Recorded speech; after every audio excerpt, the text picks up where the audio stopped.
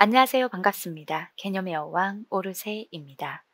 오늘은 기출백선 개강을 알리는 캐스트를 약간 독특하게 ASMR로 진행해 보도록 하겠습니다.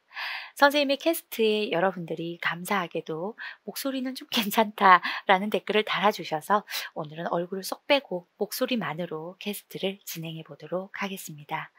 기출백서는 수원수투 확통과 수원수투 미적으로 구분이 되어서 두 개의 강좌로 개강이 되었습니다. 각 과목별로 개강하지 않고 확통 선택자와 미적 선택자들의 관점에서 어차피 30문항에 해당하는 전 범위를 정리해야 돼 라는 생각으로 각각 키가 되는 핵심 문항 100문항씩을 수록을 했습니다. 중킬러와 킬러가 50대 50 정도의 비율로 들어가 있다라고 보시면 될 것 같고요. 중킬러나 킬러의 비율은 단원마다 조금씩 다를 수 있습니다.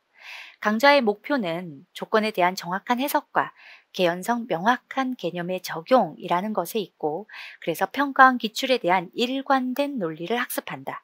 그래서 결국은 겨울 동안 열심히 공부했던 개념으로 문제를 풀 수 있다라는 겁니다. 수강 대상은 모든 수험생인데 그 중에서도 전 범위의 기출문항을 단원별로 총정리하고 싶은 기출에 대한 빠르고 정확한 풀이가 궁금한 개념으로 문제를 푼다는 것이 무엇인지 궁금한 새로운 문제가 늘 새롭게만 보이는 모든 수험생입니다.